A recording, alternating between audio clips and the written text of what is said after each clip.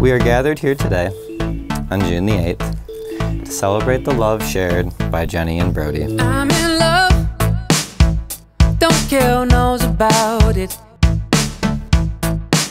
I've always been told, you know, to surround yourself, surround yourself with people that are better than you. And Brody is truly one of those people. Yeah, looking back at it, we had some of the best memories. And uh, I just want to wish you guys the best future. And, you know, here's the Genny and Brody.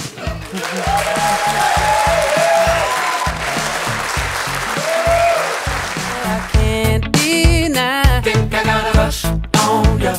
Yep, I got a rush on ya. We've been besties since high school, and I've pretty much just followed her around and subsequently Brody ever since then. uh, Genny and Brody, I say this all the time, but you two are the easiest people on earth to celebrate. It brings us so much joy to be here, and I could never express my gratitude for having you two in my life.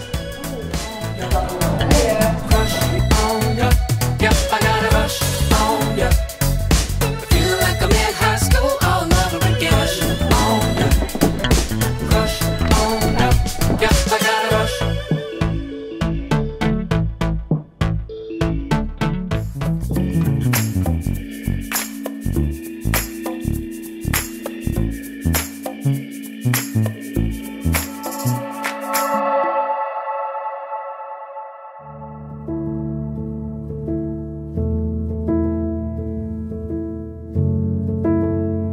have a very clear memory of us that has continued to pop into my head when I think about writing these. It was the summer before we went to college. And we were driving down Kavanaugh Lake Road at sunset with the windows down, and I just remember thinking how happy I was and how this is what love should really feel like. Fast forward 10 years later, and while I felt that exact feeling in all of our big moments, I feel it so much more in our small moments. I feel it when we get in and out and take sunset drives. I feel it on Sunday mornings when you watch F1 and I bug you about the crossword. And I feel it when we have a glass of wine too many and end up talking for hours in our backyard. And in the nature of celebrating our small moments on what is likely one of the biggest days of our lives, I have a few vows for you. I vow to never stop asking you or demanding you to tell me something new about me. I vow to always taste test the first noodle before you finish the pasta.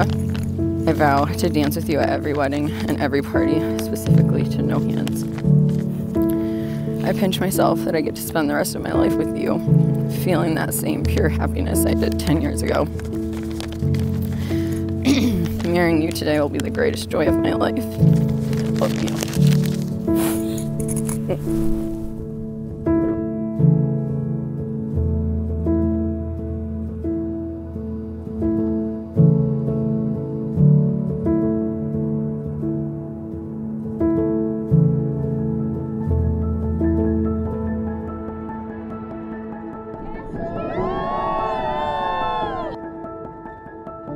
Kind of leading into my toast, I want to thank the generation that uh, not here today.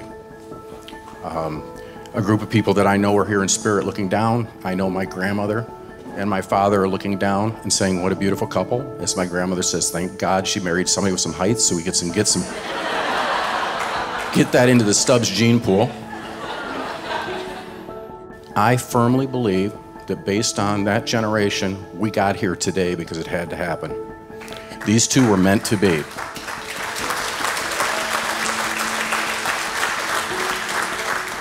So the story goes a little bit like this. So in 1963, my parents explained to my grandmother Genevieve that they are not going to hold on to a three generation naming uh, tradition of a W.G. Stubbs. My grandmother supposedly cursed them that they would have a mean little redheaded boy that was going to be a tough one to raise. So, with that story, I'm going to fast forward. As she told me the story in the summer of 1993, two weeks before she passed, I said, I'm going to have a redheaded girl, I'm going to marry Gwen, and we're going to name it Genevieve. And she smiled, and that's the last time I saw her. On July 3rd, 1995, three years to the date, Gwen sits up three weeks early and says, My water just broke. We got to go to the hospital. And she said to me, Scott, I guess we're having a redheaded girl named Genevieve today.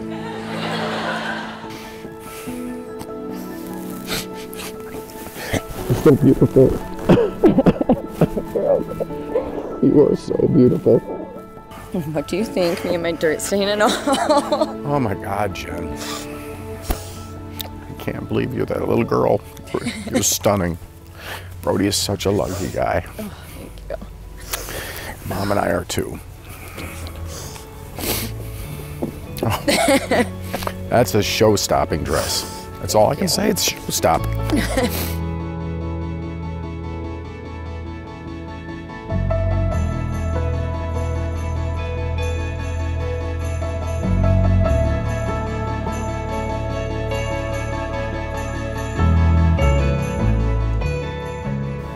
Jay, I love and adore everything about you.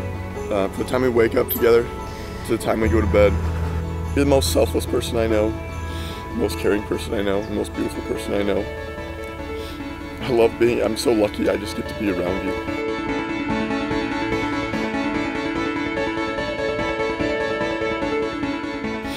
And I'm gonna love and adore you for our whole fucking music.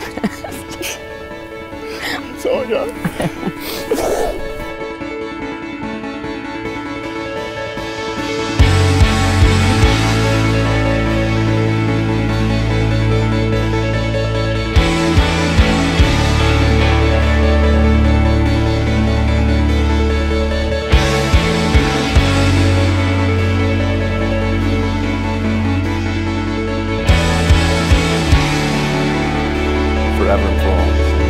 Forever and for always. Forever and always. Well, with no further ado, and by the power vested in me in the UnitedLifeChurch.com, I pronounce you husband and wife. You may kiss the bride.